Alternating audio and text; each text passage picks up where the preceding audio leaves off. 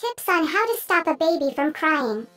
It is frustrating enough for the parents when an infant won't stop crying, so for a babysitter with far less experience, it can actually bring her to tears. If you are a babysitter, nanny, or other childcare provider who often cares for infants, or even if you are a new parent, here is a list of possible reasons why baby won't stop crying and what to do to calm her. When you are dealing with a crying baby, look at the time. Is it anywhere near feeding time? If it is within half an hour, try the bottle. Babies' schedules change so often as they grow that their needs can actually change overnight. Crying babies are usually trying to tell you something and it could be something as simple as I am tired. If it is not anywhere near feeding time, check to see if it could be close to nap time. If so, you could try rocking the baby for a few minutes and putting him down for a nap. Is the baby's diaper wet or soiled? If so, change it, even if the parent said the baby should not need her diaper changed until after her nap. This is not always something that can be predicted. A crying baby might just need to burp. Hold the baby upright against your chest with his head just above your shoulder and pat his back gently. Trapped gas is very painful for a baby, but once it is released the baby usually quiets down immediately. Another position that may help baby to release gas is to lay him across your lap and rub his back. Try distracting a crying baby by blowing raspberries, making silly sounds, dancing around, or making funny faces. Sometimes babies just want to be held. If the baby is in an exerciser, bouncy seat, or swing, try picking her up and holding her. If baby was lying on the floor or in a stationary device, try moving him to a vibrating chair or swing. Try the swing at different speeds if it has several settings to see if he has a preference. Lots of babies like motion when they are being held. Try bouncing her very gently by bending your knees slightly and straightening them while holding her, or walk around with her and pat her pack.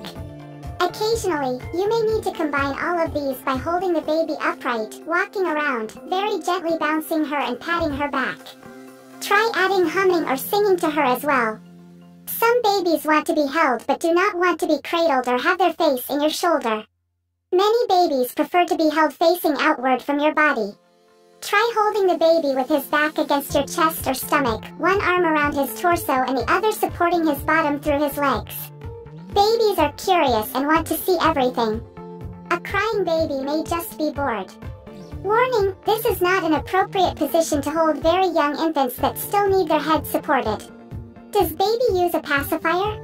Some babies just have a fussy time of day, when not much makes them happy and the baby won't stop crying even after you have tried all of the suggestions above. If this is the case, hopefully the parents have left you with some ideas of what to do to make baby happy or strategies for dealing with it. If the baby uses a pacifier, this may be all it takes to quiet her down. Many babies just go through what is called a strange period, where they cry and scream if anyone other than the immediate family or a very familiar person tries to hold them or talk to them. In this case, if the baby has older siblings, you may want to employ their help by asking them to talk to the baby or to play nearby so the baby can hear and or see them. While a crying baby may be a bored baby, he may also be an overstimulated baby. If the baby has a sound machine or white noise machine, try rocking him or holding him in the room with the machine turned on and the lights dimmed. If he does not have a sound machine, a fan, vacuum, washing machine or dryer, or dishwasher will work just as well. If the baby is a newborn, you could try swaddling her to see if that helps. Many newborns like the secure feeling of being wrapped up warm and snug. Experts say it reminds them of being in the womb. Parents usually know when their baby is teething. Hopefully if this is the case, the parents have left you with teething rings and other paraphernalia for teething babies. Sometimes when a baby won't stop crying it is simply because he is uncomfortable. Touch the back of the baby's neck to see if he is too hot or too cold. Then add or remove a layer of clothes accordingly. Try removing all of baby's clothes to see if perhaps her diaper is too tight or clothes may be digging into her or irritating her skin. If you are experienced with bathing babies, give him a warm soothing bath. A ride in the car or a ride in a stroller is common to many babies. It may take a few minutes for a crying baby to quiet down and she may start to cry again whenever the car or stroller stops, but most babies settle down after a little while. Try a bottle even if it is not anywhere near feeding time. Most babies will not always be on an exact schedule for eating.